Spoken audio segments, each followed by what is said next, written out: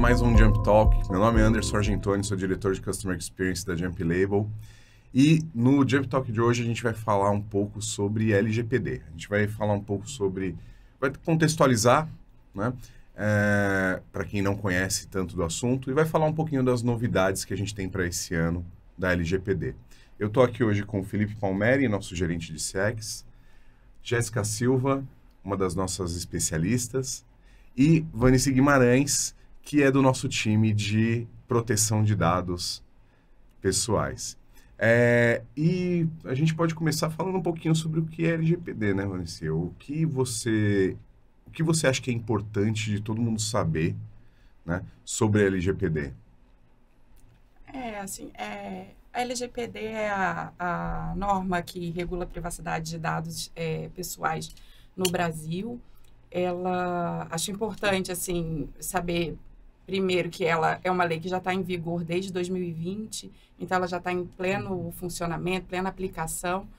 E é uma lei que ela é muito relevante hoje, vem sendo muito falada, porque ela afeta toda a sociedade. Uhum. Ela não afeta só o setor econômico, afeta todos os setores, porque ela é aplicável é, tanto para é, tanto para pessoas físicas quanto jurídicas, desde que seja é, que, tem, que, se tenha um tratamento de dado pessoal relacionado a uma atividade econômica.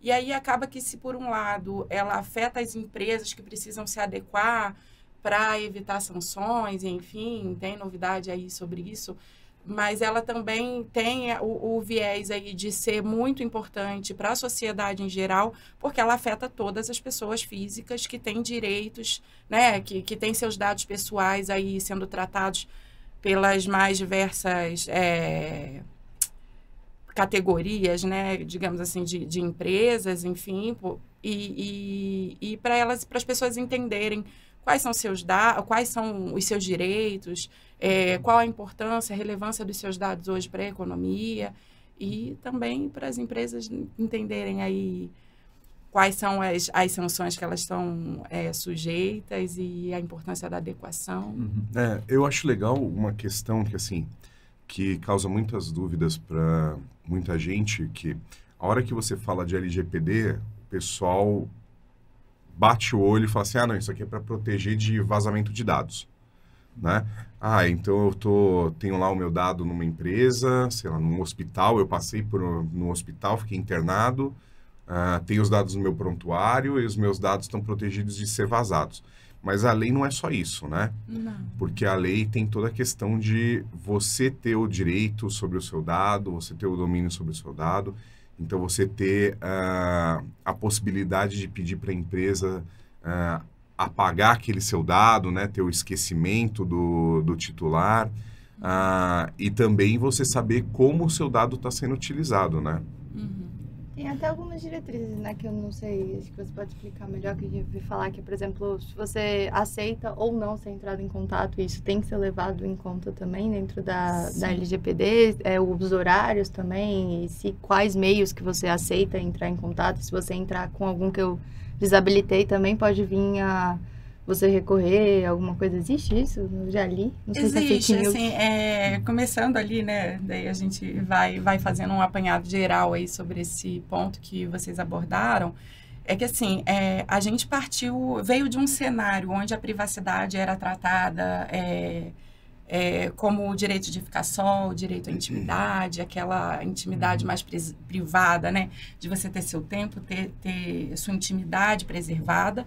E a gente vem para um cenário com a LGPD e com, com é, a evolução das legislações sobre privacidade e proteção de dados no mundo todo, a gente parte, é, é, veio para um cenário que, onde o dado pessoal, né, onde o direito que é preservado é o direito à liberdade do indivíduo. Uhum. É o direito que a gente chama ainda até a lei é, define como autodeterminação informativa, que é o quê? Você tem que é, ter controle sobre o seu dado. Você tem o direito de não ser manipulado, você tem o direito de não ser vigiado, você tem o direito de decidir quem que vai tratar seu dado, como esse dado vai ser tratado, enfim. E aí, é, para que isso se efetive, assim, uh, não é a, a lei ela estabelece diretrizes, bases legais, assim, que não é só é, eu dar um consentimento por dar, é eu dar um ok, que hoje tá, tá Uhum. você abre os sites aí, tem o cookie banner e Uhum. você dá ok, e a pessoa acha assim, não, eu tô consentindo Uhum. tudo. Muitas empresas acham, não, agora eu tenho um ok aqui, eu tenho um ciente, né? miúdas, né? É só um botãozinho, né? Ciência. Dá a ciência e tá tudo certo, eu posso tratar o dado pessoal da maneira como eu quiser. Esse consentimento que é dado hoje, que você estava falando aí, Jéssica, assim, ele é um consentimento muito qualificado pela lei. Então, não é o consentimento, não é o ok pelo ok. Você tem que entender por que você está dando consentimento. A empresa que está pedindo seu consentimento, ela tem que deixar muito claro qual é a finalidade é, do tratamento, qual é o dado que ela está coletando com aquele tratamento. Então, assim, tem uma série de, de detalhes, né? Apesar da lei ela ser ah, de muito fácil compreensão numa primeira leitura, eu pelo menos vejo assim que é, ela não é uma lei é, super, super técnica, você consegue fazer uma leitura, entender basicamente qual é a, a, a, a intenção do legislador ali. Mas ela é de muito difícil aplicação, Uhum. porque ela tem conceitos muito abertos, Uhum. então ela vai trazer conceitos como assim, é, é o, primeiro assim, o que, que é o dado pessoal, né? Sim. o que, que é o tratamento de dados. Então, são conceitos abertos que a gente vai entendendo a cada, a, a cada tratamento, a cada case, né? Para fazer uma adequação é, de verdade, é, é, ajustada à intenção da LGPD e, e para, de fato, evitar e minimizar o risco de sanção. Acho que no começo tinha muita dúvida, né? Tanto da- das empresas quanto das pessoas, do que que era, até o dado pessoal, né? Uhum. Tinha muitas discussões. Eu acho que você vê que hoje em dia está amadurecendo isso, porque acho que antigamente via pessoal perdido é, em como aplicar a lei, né? O que, que Uhum. realmente essa questão via muita gente falando, achava exatamente o que você falou, que era tudo pegar o consentimento e beleza, então posso fazer o que eu quiser. Mas hoje o pessoal vê que tem várias diretrizes ali que a lei diz, né? Essa de o consentimento é uma delas, mas tem outras coisas ali que tem que ser levadas em, em consideração. E até das pessoas, antigamente eu vi o pessoal comentando um pouco, né, sobre a LGPD tá vindo. Hoje eu já vejo as pessoas que não estão dentro do mundo de dados ali já bem falando mais sobre isso, né, no dia a dia ali, quando vai comprar um produto na farmácia, por exemplo. O pessoal já está um pouco mais ligado nisso, né? eu estou dando meu dado pessoal, o pessoal está utilizando para isso, né? Você vê hoje em dia que tem essa maturidade, acho que não chegou ainda no ponto de estar rodando redondo, né? Mas acho que hoje em dia a gente já tem essa maturidade maior ali. Né? Tem um negócio que eu acho legal, até de exemplo dessa questão do consentimento, né? É... Que o que acontece? Quando você fala de dado pessoal, muitas vezes as pessoas acham que não, dado, meu dado pessoal é meu CPF, é meu endereço, é meu telefone, né? Mas se você vai num... A maioria dos laboratórios já estão já estão adequados, né? É, em alguns processos. Mas se você vai, por exemplo, hoje num laboratório fazer um exame de sangue, eles sempre entregam para você um termo de consentimento falando se podem usar os seus resultados do exame em pesquisas, né? É, isso mostra uma outra coisa, né? A, ge- a gente que trabalha com dados, eu já trabalhei com farmacêutica, com dados de laboratório, a gente sabe que os dados eram utilizados em pesquisas, né? É, e você não sabia. Você fazia o seu exame de sangue e o seu exame de sangue ele compunha uma pesquisa depois, né? É, e aí esses consentimentos dão uma visão para a gente de que, olha, não é só CPF, não é só o não é só o seu telefone, só o seu endereço, que é o seu dado pessoal. Um resultado de exame de sangue alterado, por exemplo, pode ser um dado que vai ser utilizado contra você em algum momento, né? Tá, por uma seguradora que pode de saúde que pode falar, ó, eu não vou, o seu seguro de vida é mais caro porque a gente tem aqui os seus dados e descobriu que você tem colesterol alto, né? É, então é interessante a gente saber disso e saber que esses que isso é muito mais amplo. Até nas redes sociais, né? Tipo, como eu, eu venho eh, mudando toda hora de localização, eles colocam, ah, permitir que comércios locais saibam a sua localização para poder ficar enviando push para mim. Uhum. Aí se eu quero ou não quero isso, né? Então isso é bom porque às vezes você não conhece tão bem, aí, ah, que legal isso aqui, vou ali. Ou às vezes não é tão bom porque a gente nunca sabe para quê e como que vão estar É, eu usando acho que a aquelas é ter informações, né? opção, né? Eu, Sim. eu chego lá no laboratório, eu, eu preencho que não, tudo bem, pode usar os meus dados para fazer o estudo, né? Porque eu acho que é, pode ser algo importante, né? É, mas é ter a opção de falar não, né? É, a, a, LGPD, ela traz uma previsão de que o dado ele pode ser usado, já existe uma base legal uhum. de utilização para estudo, para pesquisa, uhum. independente do consentimento, né? Sendo que aquela, aquele, aquele controlador, ele tem que provar que ele está tratando para aquela finalidade ali, caso ele venha, é, por acaso, a sofrer algum, algum vazamento, né? Ao ocorrer algum incidente. Mas, assim, é importante que vocês estavam trazendo aqui, deixar claro que, assim, o dado pessoal não é só nome CPF, uhum. né? Data de nascimento. Data de nascimento, não, é, não são só aqueles dados gerais de identificação que a gente preenche no formulário e muita gente realmente não sabe disso. E hoje já existe um entendimento, assim, é muito claro de que não existe dado pessoal que seja insignificante. Não uhum. existe, não existe dado pessoal que, que um operador ele possa é, tratar, o controlador, né? Ele possa tratar aquele dado sem que ele faça uma adequação, sem que ele se ampare ali nas bases legais e eles to tome as medidas de adequação que a lei prevê. Porque, assim, é, existem dados, por exemplo, tem vários desafios no, no tratamento e na adequação, é, como, por exemplo, você identificar, categorizar o dado, que daí já entra bem é, na parte aqui de, de tecnologia, mesmo de implementação com uso de tecnologia, que, assim, você é, tem desafios de categorização de dado, e de identificar que muitas vezes um dado que te parece inofensivo, ele é um dado potencial, potencialmente ofensivo, é um dado que ele pode ser tido como sensível. Um exemplo clássico é o nome de uma pessoa que identifica a etnia dela, a raça dela. Uhum. Então, uma pessoa que ela tem lá o sobrenome, por exemplo, Mohammed, em determinadas circunstâncias, ela pode sofrer discriminação simplesmente porque o nome dela foi identificado ali num determinado contexto. É, uma pessoa que se identifica em determinada situação, que não forneceu nenhum dado direto de identificação, mas se identifica como, como médico numa circunstância, e aí ela está é, em determinada cidade ou está em determinado congresso, você vai filtrando aquele dado e vai fazendo uma combinação de dados que acaba por possibilitar a identificação daquele indivíduo.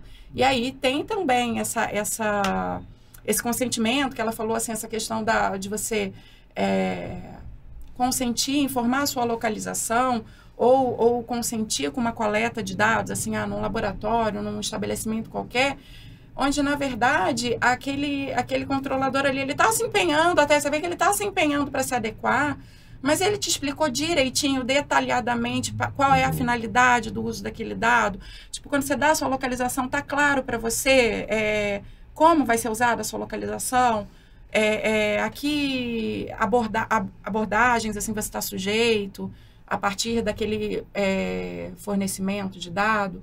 Uhum. Então, assim, por isso que esses são alguns dos desafios que no momento da adequação você enfrenta, porque uh, até a gente, quando a gente está tratando aí com, com as ferramentas de tecnologia que a gente tem para categorização e uhum.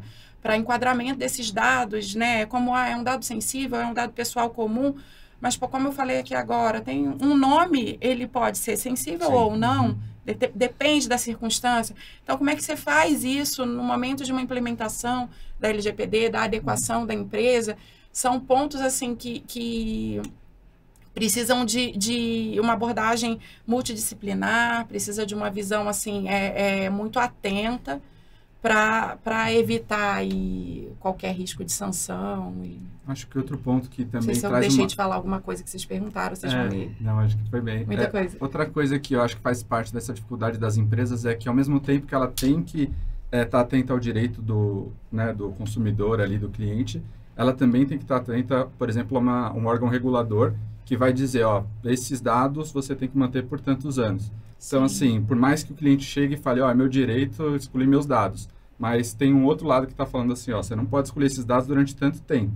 Então, isso é uma coisa que tem que sempre ser levada em consideração e podem ter mais de uma regra ali para um mesmo dado, uma que diz que tem que ficar três, outra que diz que tem que ficar cinco ali, e o cliente falando, ó, paga meus dados, né? Eu acho que podem ter desafios que eu acho que para a empresa é, também tem que estar tá bem atento a isso. Como que são esses desafios para a implantação, né? para a adequação da LGPD na empresa?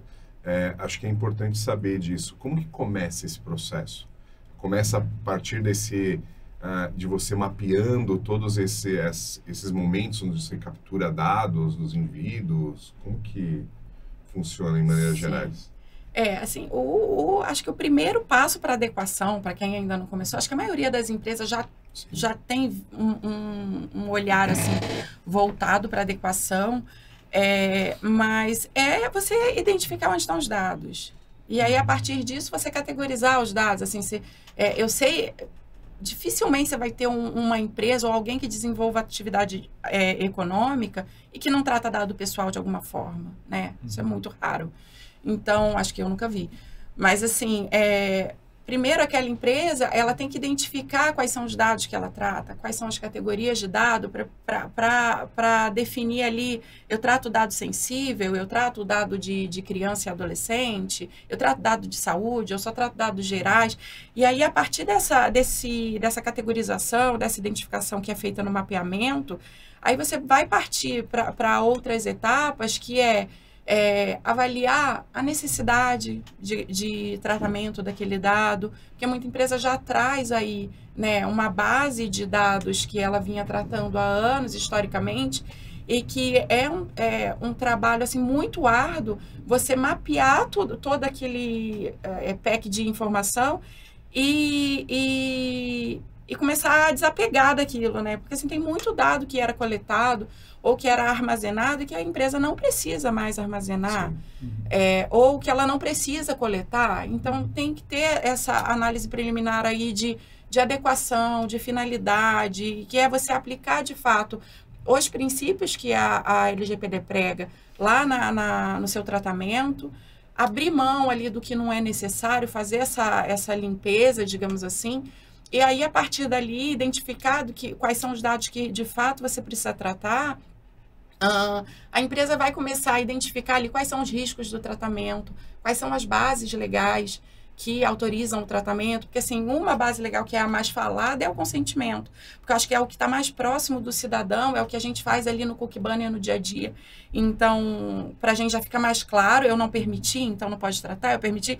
Agora, se tem outras bases legais que elas amparam o tratamento de dados, então tem a base é, legal contratual, então muitas vezes para a execução de um contrato, por exemplo, um contrato trabalhista, você está contratando um profissional, você precisa obrigatoriamente tratar os dados dele, e daí você já vai partir aí para o que o Felipe falou, que é, é aquele momento assim, apesar de, por exemplo, eu ter desligado um profissional da minha empresa, eu tenho uma responsabilidade prevista em lei por um determinado período. Então, dentro do processo de adequação, você também precisa definir aí uma tabela de temporalidade, onde você pre prevê ali para para cada tipo de dado, conforme a finalidade que ele é tratado, por quanto tempo ele precisa ser armazenado, quando ele precisa ser eliminado, quando ele deixa de ser relevante, eu deixo de ter é, implicações legais por não ter aquela informação mais armazenada comigo. Então, é, é, tem que ter, acho que por isso que é tão importante essa análise multidisciplinar, porque não é só a análise legal, Uhum. tem a análise de segurança da informação, tem a análise do negócio mesmo, porque às vezes você vai ponderar ali qual o apetite de risco daquela, daquela companhia, daquela organização para tratar determinado dado. Então, às vezes, a, a LGPD ela determina que você não pode coletar dados sem o consentimento, ou enfim, determina é, a- as diretrizes ali, mas a empresa ela quer porque quer coletar e ela assume aquele, ela des- deseja assumir o risco, ela vai avaliar ali qual é a sanção que pode ser aplicada a ela. Então, é, tem essa análise negocial, que é muito importante também no processo. Então, é, é isso. É, e como você disse, é algo multidis- multidisciplinar, né? O, a, a a gente já, já passou por diversos processos de adequação à LGPD, ajudando outras empresas né, a se adequar, porque tem um processo técnico ali de tratamento dos dados e tudo mais, e que pode ser bem complexo, né? Mas tem, existe ferramental para isso, né? Existem ferramentas para ajudar nessa adequação, né? Ah, sim, hoje o mercado tem várias ferramentas aí super é, potentes, digamos assim, que elas vão ajudar a organização desde o mapeamento desses dados, que às vezes a organização ela tem lá, igual eu falei, essa base de dados histórica, e, e às vezes até tem uma base de dados física, Uhum. é, que a LGPD também é, se aplica, não importa qual é a base onde o dado está armazenado, se é digital, se é física, enfim. E, e existem ferramentas que ajudam a mapear e, é, tanto os dados pessoais quanto os ativos com os quais a empresa trabalha, que aí são, são as ferramentas, né, os sistemas que ela usa para tratar esse dado, uh, os fornecedores, né, aquele terceiro que pela legislação ele é visto aí como operador, mas que ele está em contato direto com aquele dado, tratando aquele dado, e aí a, as ferramentas elas são muito importantes porque é, antes do, do, do do advento aí da LGPD, era muito comum você ver as empresas tratando o dado, armazenando, enfim, fazendo algum tipo de controle em Excel, por exemplo, dependendo do porte da empresa, né? E isso é, gera ali não só um risco de, de violação mesmo, de deleção, enfim, né, de perda do dado, mas você também não tem como rastrear e essas ferramentas, elas trazem isso, essa linhagem dos dados, como que eles estão relacionados uns com os outros, uns com os outros é, quem foi que manuseou, quem foi que, que tratou aquele dado, ou que passou ali pela, pelas etapas do tratamento, pelo fluxo, né? Então, é, é, as ferramentas, elas permitem essa rastreabilidade do fio do tratamento e do armazenamento do dado, e isso é super importante para a empresa, inclusive na hora de ela apurar se aconteceu um incidente de segurança, onde foi ali, qual é o ponto de vulnerabilidade, né? Então, é, acho que assim, hoje, para aquela organização que ela pode é, fazer um investimento em ferramentas, né, é de suma importância. E hoje existe um, é, claro, assim, você que já teve vivência nesses projetos, quais são os papéis e responsabilidades, tanto da Jump quanto dos clientes, para esse processo de adequação acontecer de forma para ter, ter sucesso né, nessa, nessa adequação. Tá. É, então, assim, a lei ela traz bem claro quais são é, os, é, os personagens que estão ali vinculados à, à, proteção de dados pessoais. Então, assim, ela tem o papel do titular de dados, que é a pessoa física, que está ali é, com seu dado pessoal circulando e sendo tratado. E aí, no âmbito empresarial, é, tem o, a figura do operador e do controlador. Então, o controlador é aquela figura que determina o modo como o dado vai ser coletado, como ele vai ser tratado, é, quando ele vai ser descartado. Então, o, o, controlador, ele é aquela figura que tem um papel decisório sobre o tratamento de dados. E aí, por isso, é, dentro do, do da, da visão, né, das diretrizes do LGPD, ele tem mais responsabilidade, porque é ele que determina é, é, como é que vai se dar esse, esse tratamento do início até o fim, tá? E tem a figura do operador, que é aquele personagem que, né, uma empresa ou pessoa física, que ele é contratado pelo controlador para manusear, para tratar de fato aquele dado. Então, o, o operador, ele vai agir sempre conforme as determinações, as diretrizes do controlador.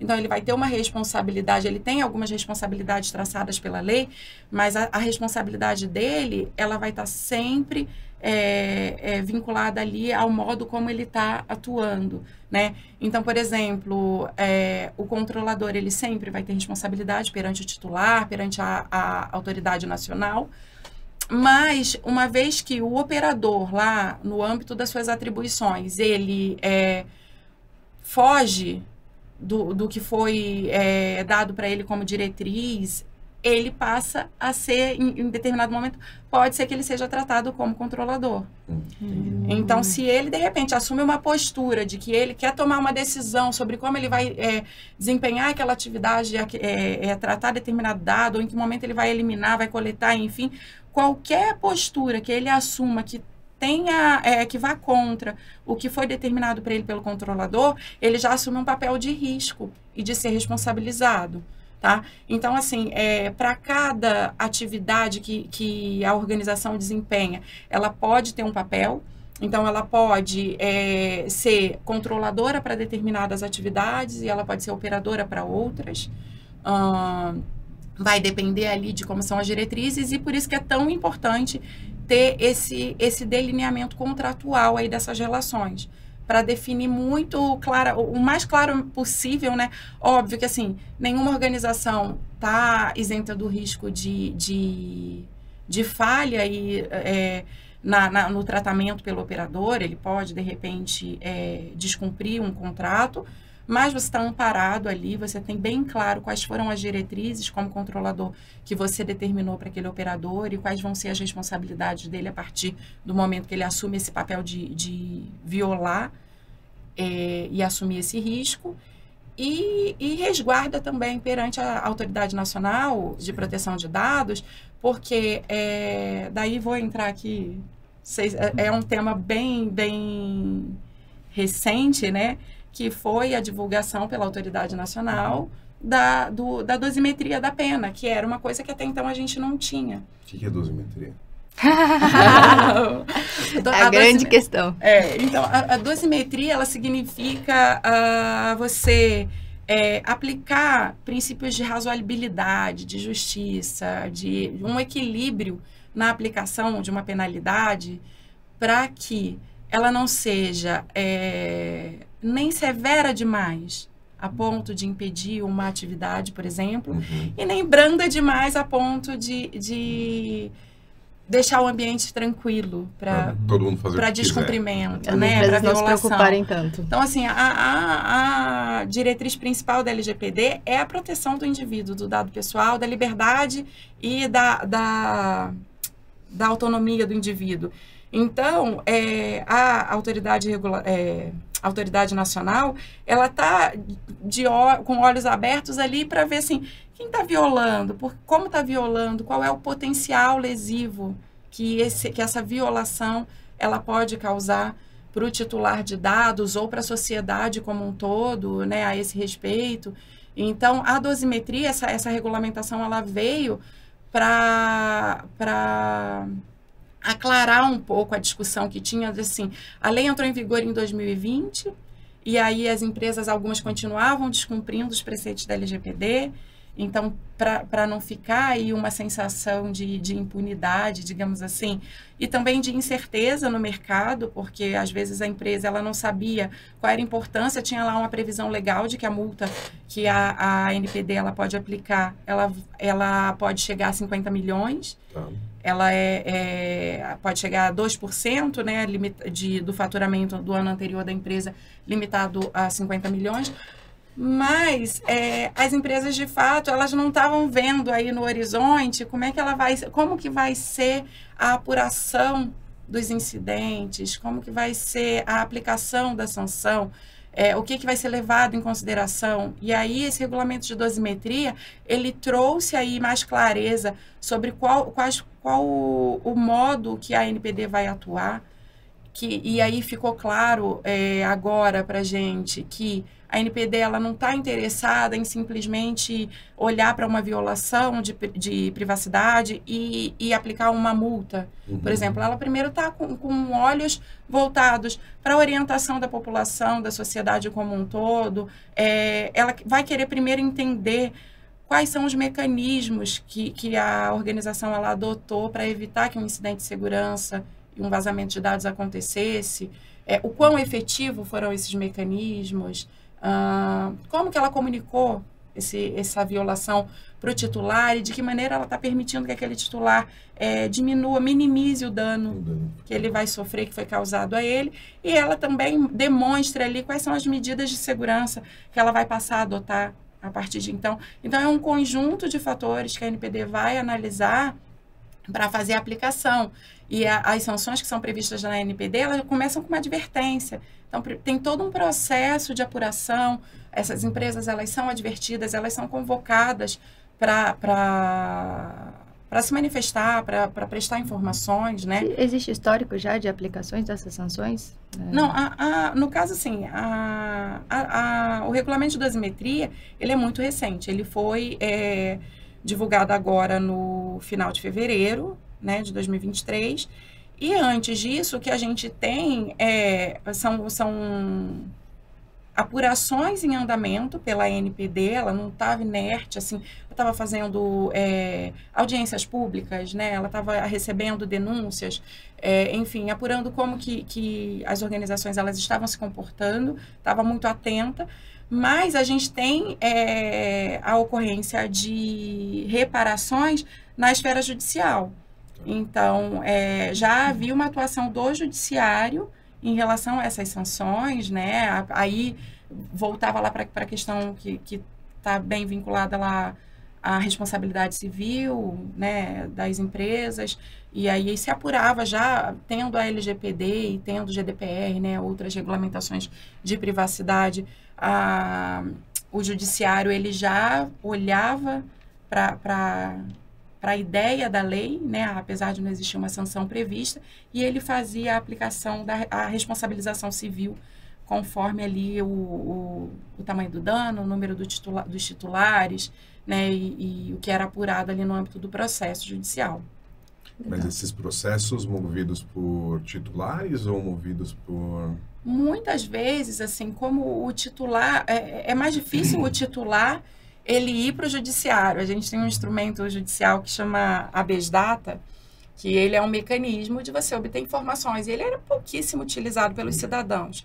Então, assim, já, já ciente disso, né, é, existe uma atuação muito incisiva do Ministério Público, que é de proteção dos direitos titulares, direito da sociedade. Então, muitas vezes o próprio Ministério Público representava, às vezes os órgãos de proteção ao direito do consumidor, que tem uma vinculação, que tem uma relação ali bem próxima da LGPD também. É, e, e aí, e algumas vezes, dependendo do dano que era causado, a gente tem aí casos famosos, né, de reparação de dano, é, que foi, por exemplo, recentemente teve uma atriz famosa que deu o filho para adoção e, hum, e teve esse dado vazado. O dado foi vazado, né? E Direto ela foi para o judiciário buscar reparação, né? Porque ela, né? en- Então, assim, aí vai se apurar lá no, processo judicial é, como que se deu esse vazamento de dados, de quem é a responsabilidade, qual vai ser... é, E é isso que é caracterizado como incidente? Sim.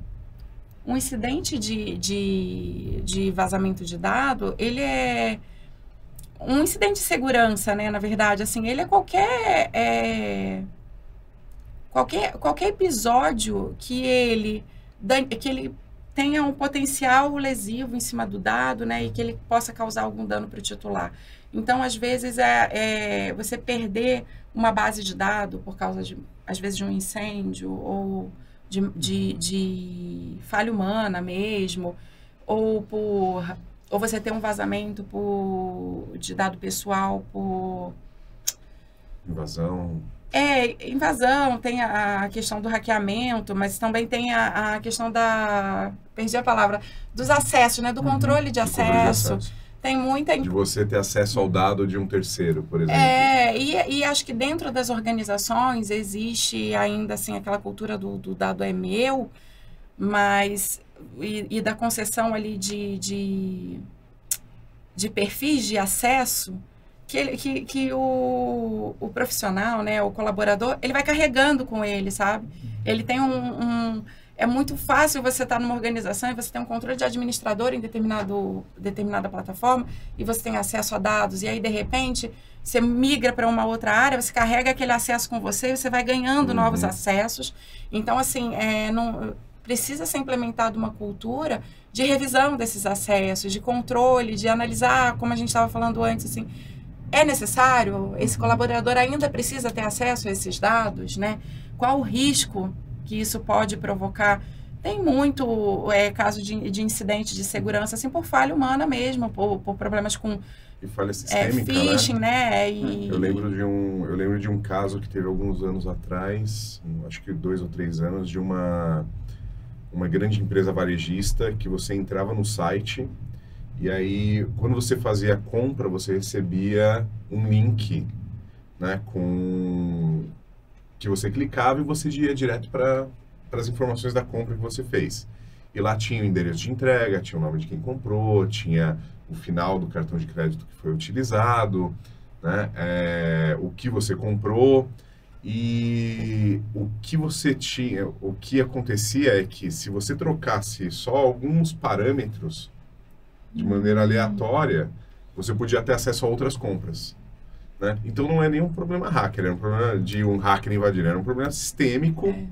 que alguém foi lá e digitou um valor e E, a- e para aplicação de multa, acho que faz diferença o quanto que a empresa está preparada ali, né? Ou conseguiu, tem esses processos, né? Porque uma coisa, na hora que eles forem validar, se a empresa ela não está isenta ali, né? De cometer algum erro, né? Então, mas se ela estiver bem preparada, né, tem os processos, eu acho que a multa tende a ser menor, né? E uma coisa que faz diferença hoje, né, para as empresas, ela tá preparada e ter seus processos estruturados ali, quando tem alguma multa, alguma penalidade, isso é visto, né? Por exemplo, uma empresa que teve um vazamento que poderia ter sido contido, né, se ela tivesse se preparado, eu acho que a multa vai ser mais severa do que caso a empresa tenha ali todos os seus processos ali bem estruturados e tenha alguma falha ali, né, que seja mais difícil de pegar, né? Sim.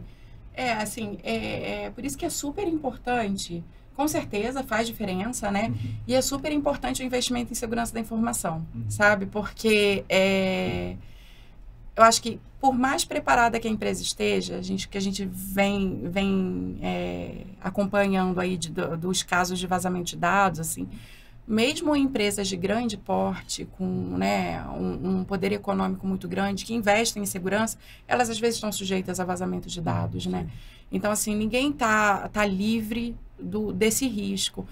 O que vai fazer diferença é, é isso mesmo, é o como ela demonstra, o quanto ela estava preparada para atender, para responder a esse incidente de segurança, né? Uhum. Então, é, aquela empresa que ela tem o seu mapeamento mais claro, que ela já está com ferramentas ali de mapeamento, né, de, de, de rastreio das atividades dentro da organização dela, ela vai responder a esses incidentes de uma maneira muito mais rápida do que aquela empresa que ainda não se preocupou, que não investiu tanto, tanto nisso.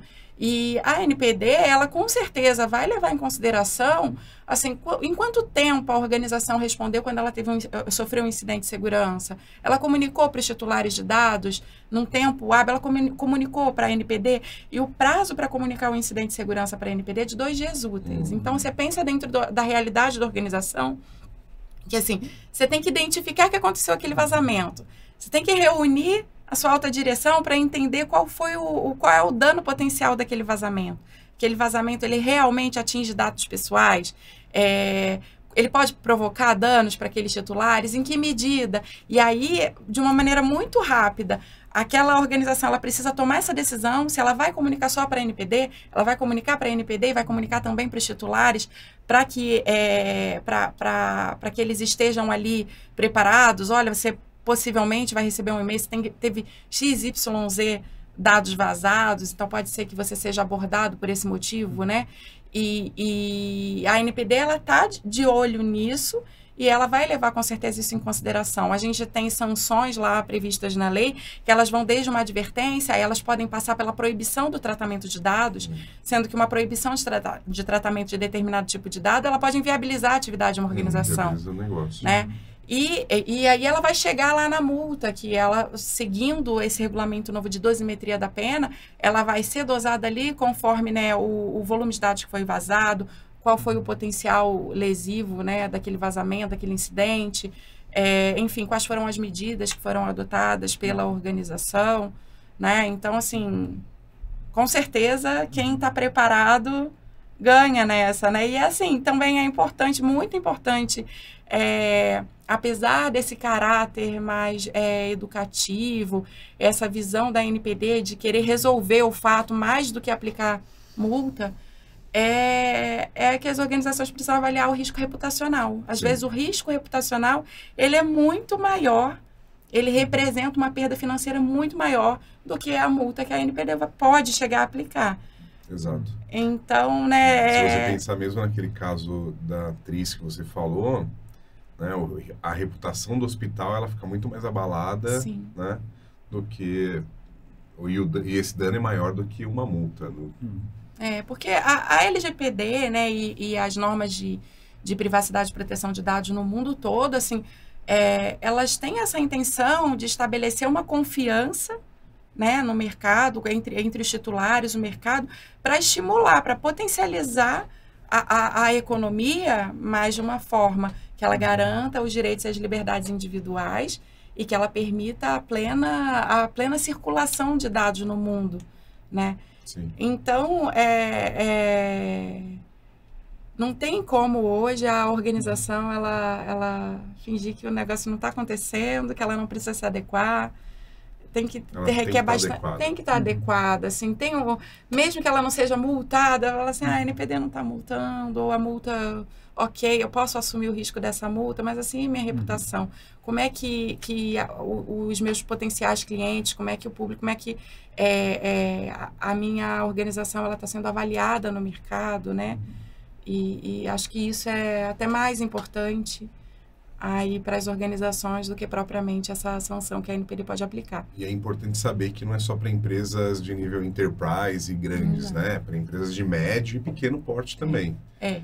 E Então, a essa dosimetria, adequação é ela, ela veio para isso também, assim, porque é, ti- tinha aí uma, um campo nebuloso que as empresas de pequeno porte, microempresários, eles, é, a, a lei, ela se aplica a todos que desempenham Uhum. atividade econômica e tratam dado pessoal, então se aplica até a pessoa física que desenvolve uma atividade autônoma, né? Mas a dosimetria, ela vai levar isso em consideração na hora de aplicar uma sanção. Obviamente que a sanção que vai ser aplicada para esse pequeno empresário, ela vai ser diferente da sanção que vai ser aplicada, né, para uma empresa de grande porte e tudo, mas é para todo mundo. Todo mundo tem que estar atento, todo mundo tem que adotar medidas. Às vezes, é, uma empresa é, menor, ela às vezes não vai ter é, essa disponibilidade de investir tanto, mas ela pode adotar outras medidas. Ela pode investir um pouquinho menos, mas ela tem que investir alguma coisa tem que investir em, em conscientização da força de trabalho, ela tem que é, rever as, as condutas internas ali em- com relação ao tratamento de dados, para também demonstrar minimamente, assim, né, que Que está preocupada que com o está assunto, preocupada e com o tá assunto e que está preocupada principalmente com o direito, né, é, e com a liberdade do, do- dos indivíduos, que é o, o fim, assim, é princípio da, da legislação.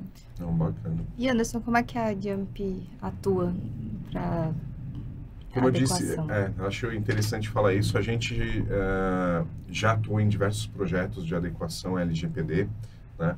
Ah, e a Jump ela tem um papel consultivo, né? Então a gente tem a Anicita da equipe de privacidade, ela ela tá lá no dia a dia auxiliando as empresas a entenderem quais são os processos, né? Onde que ela tem que se adequar, quais são os riscos, né? E aí a gente propõe processos, propõe projetos de governança de dados, que também é um- algo muito importante para a gente garantir ah, não só o uso do dado correto, mas a segurança daquele dado também, e também através de ferramental. né? Então, a gente tem diversos parceiros com ferramentas que auxiliam, por exemplo, a empresa a ter as informações corretas para poder responder um incidente no tempo hábil, poder responder a um titular no tempo hábil, quando ele tem algum ah, quando ele pede alguma algum tipo de informação sobre como os dados deles estão sendo utilizados, por exemplo. Legal. Mais alguma coisa, Vanessa? Não? Então a gente encerra por aqui, mas esse Jump Talk, agradeço muito a sua presença, Eu foi agradeço. Muito, muito importante para esse talk. Tivemos uma aula aqui Já é agora. uma baita de uma aula e até o próximo. Obrigada, eu que agradeço vocês aí pelo convite e estamos às ordens.